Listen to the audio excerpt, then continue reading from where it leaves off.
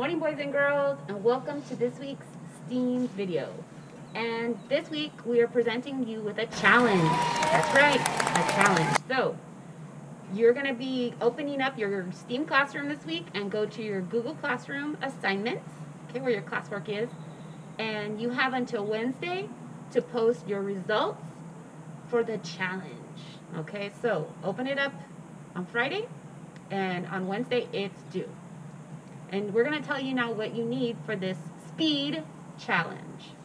You will need a bike, a timer, a, a phone for a timer, a friend to help you time, marked off area, and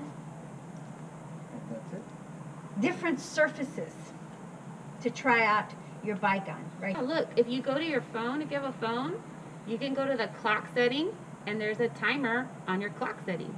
So you can use that as a timer. And we will be using the distance traveled and the time it takes to calculate your speed. Guys, for this challenge, uh, we're gonna you're gonna need approximately a measure 45 yards. Now, in order to do that, what you can do is you can take one big step.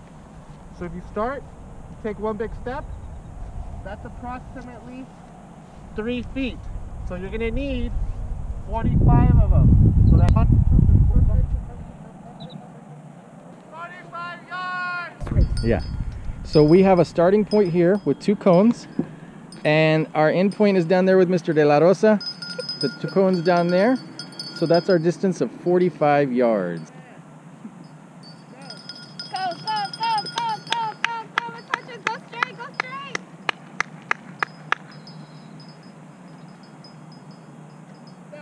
So she went from point A to point B in 9.87 seconds.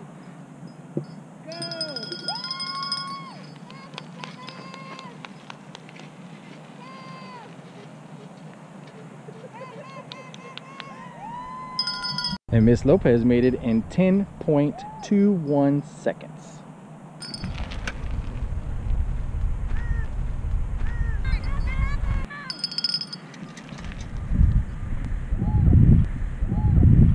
So for this next part of the challenge, we're going to try different surfaces.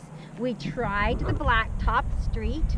It was very smooth compared to the grass. Let's see what happens with our timing now that we're going to ride our bikes on the grass. More friction or less friction? What do you think, boys and girls?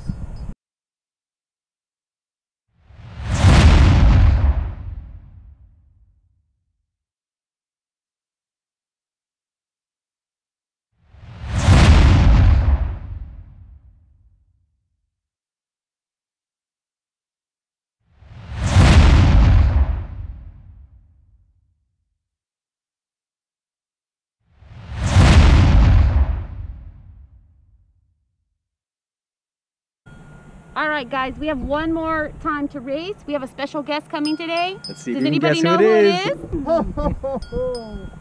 Uh-oh, who's that?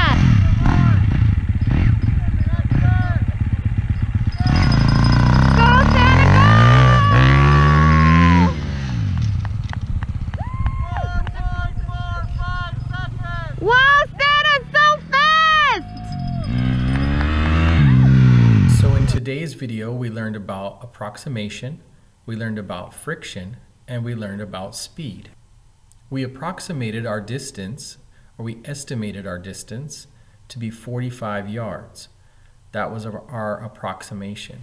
In testing friction, we tested the road compared to the grass to see how it affected our speed. In order to calculate speed, we need to use the equation to calculate speed, which is speed equals distance divided by time. So our speed today will be calculated using the unit of measure, which we measured in yards, and the time was in seconds. So it's how many yards per second did we travel? The speed and I'll so after we calculated the speed using the formula, we can see here that Miss Lopez traveled the 45 yards in 4.4 yards per second. That's on the street. On the grass, she traveled the 45 yards, in 2.4 yards per second. So she was slower in the grass than she was in the street because she only went 2.4 yards per second. On the street, she went 4.4 yards per second. You'll see that Miss Sanchez has the same outcome. Miss Sanchez on the street traveled 4.6 yards per second, and Miss Sanchez on the grass traveled 2.7 yards per second. So the pattern here is on the grass, each of us were slower than we were on the street. Don't forget to hit like and subscribe if you're interested in more videos, and always ask your parents for permission.